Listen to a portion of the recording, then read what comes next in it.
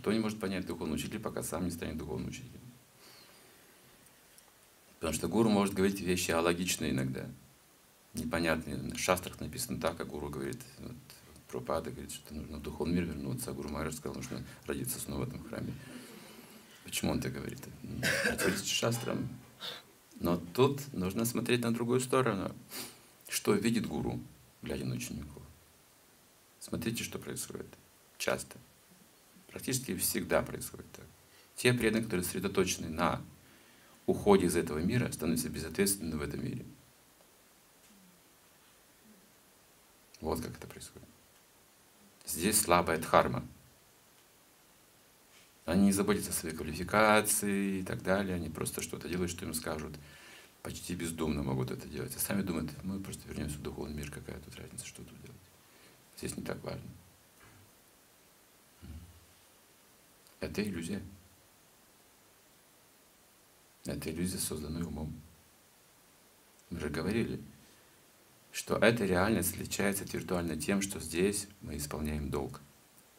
А в виртуальной реальности не присутствует понятие долг, дхармы. Дхарма — это имя Бога, главное имя Бога.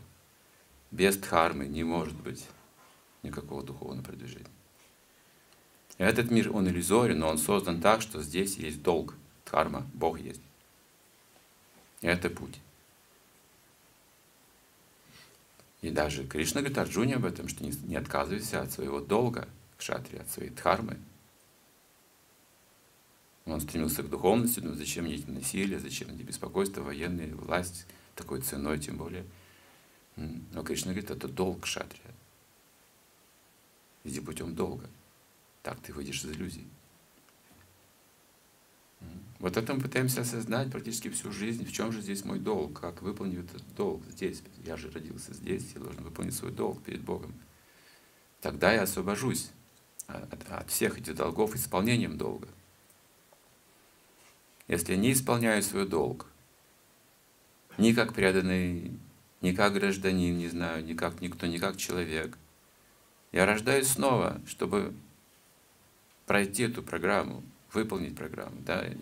То есть ученик учится в пятом-шестом классе, сдает экзамены, переходит в следующий класс. Не сдает экзамены второй год. Я не выполнил, не усвоил программу. Второй год, и снова воплощение, и снова воплощение, и новое воплощение, и снова вот эти второгодники, вот эти второгодники накапливаются, которые свой долг не исполняют, и население растет на планете. Население некачественных людей, не великих людей. Великий редко. Тот, кто исполняет свой долг, рождается, у него лучшее рождение, еще лучшее рождение, в конце концов уходит. Самые великие личности здесь не живут на этом уровне. Здесь формируются. Здесь мы выполняем долг, мы должны заработать это. Земной уровень, тут все проверяется. А то, что мы заработаем, это будет причиной нашей следующей жизни и положения. Здесь можно, можно осознать душу на земле живя. Можно стать скотом. Можно превратиться в кого угодно. Это вопрос как бы нашего выбора здесь. И мы выбираем духовный путь. Путь служения, а это означает выполнять свои обязанности очень хорошо. А не просто мечтать о духовном мире и здесь не замечать, что я вообще делаю, что я тут